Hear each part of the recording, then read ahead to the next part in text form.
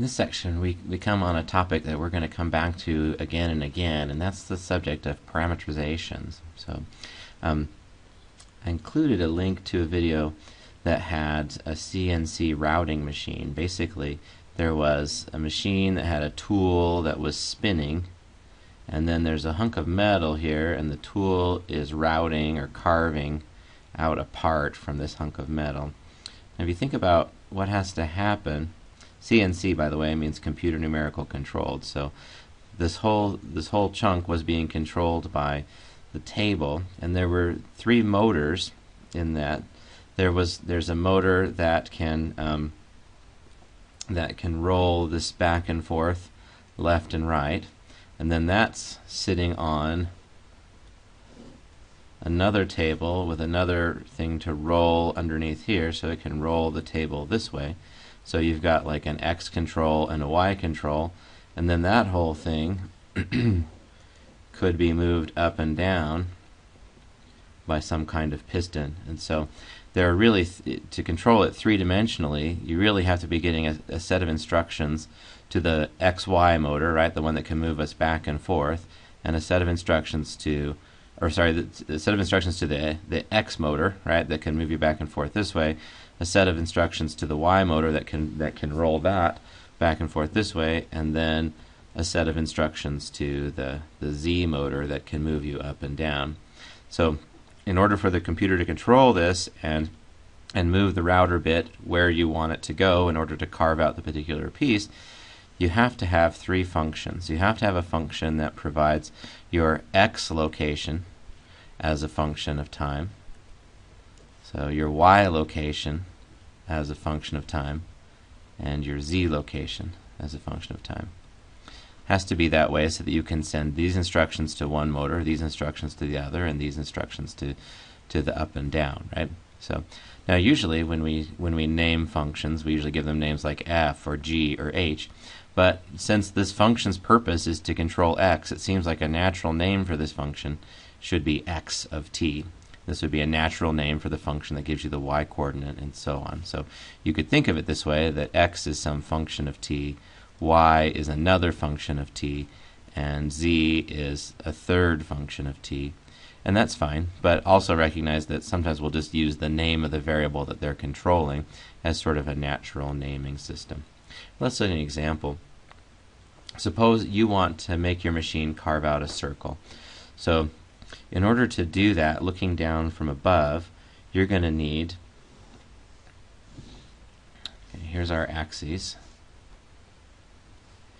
You're going to need to go around the circle, maybe like this, right? Let's think about the two individual components, what the two pieces have to do. Let's think about first what the x has to do as a function of time. And then think about separately what the y has to do. So first x is going to have to start out, looks like over here. And then as you go around the circle, as you go around the circle, can you see that the x value has to decrease, go negative, and then as you come back around the circle, the x value will come back up. So if you think about this, the x value is going to have to start here, go down, and then come back up. Where the y value, the y value starts at zero, right? As you go, as you move up around the circle, the y value goes up, and then as you start to come back down, the y value goes down, and then it comes back up again. again. So as you go around the circle, if you just think about your vertical position, your vertical position starts at zero, you increase vertically, you come back down, you go to the bottom, and you come back up, right? So your your y coordinate is doing something like this. So can you see how x and y are separate functions of this this parameter t? So this is an example of a parameterization. Para means to the side. Uh oh. Para means to the side, and meter means measure. So t is something that you're measuring on the side. As you look at it, you, you see the curve emerging, right? If you look at what the machine's going to cut out, if we give it these instructions, then we're just going to see it. We're going to see the circle, right? On the side, though, you can think individually x and y are changing as a function of this variable t, right, the parameter. All right, so we can have basically we can have our location given by right our x and y location given by a parameter. Well, I guess if our thing was three-dimensional, we would also have to program z, right? But if we wanted the circle to be in the plane, then we would probably just set z to remain at some constant level, maybe zero or whatever that level is that we wanted it to be at. Okay, so you could have all three as a function of t. It's just if it's, it's if it's shape in the plane, basically you set z to be some constant. That'll make it a nice flat shape. Okay, this is the idea of a parametrization. Now we'll come back to this example. You can see how on a circle it looks like the graphs of cosine and sine are important for building that parametrization of the circle. You can also have functions of more than one parameter. If there's one parameter, then the, then the shape that you get will be one dimensional because there's one freedom. You can change time and then everything's locked in, right? If there are two parameters, then the shape you can get will be two dimensional. Um, if there were three parameters, three dimensional, and so on. Those will be the two important cases in this class, having either one parameter or two parameter and then two parameters, and then if you have one parameter, what curve do you get? If you have two parameters, what surface do you get? What two-dimensional thing do you get? Let's look at one more example. Suppose we want to carve a line here. So we want to uh, we want to come up with equations that we can that we can then program our routing table so that it will cut a line from one point to another point how can we get equations of that line?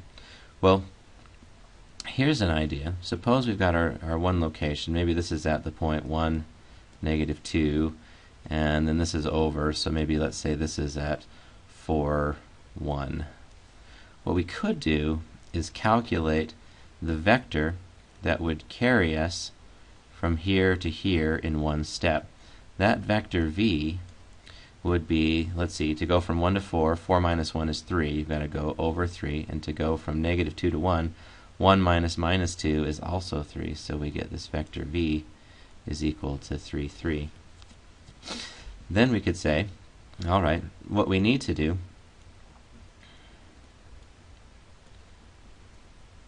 is to make that vector longer as time goes on. So when t is 0, then then we just have nothing, right? And this vector will get longer so that by the time t is 1, the vector is the complete length that would carry me from here to here.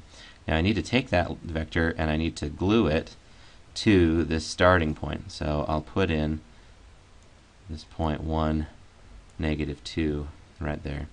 That way when t is 0, can you see that this will disappear and I'll be at 1, negative 2. And by the time t gets to 1, then I'll have 3, 3 plus 1, negative 2. That will be, I'll be at location 4, 1. So this is going to be my parametrization. Now I can combine that into a single piece.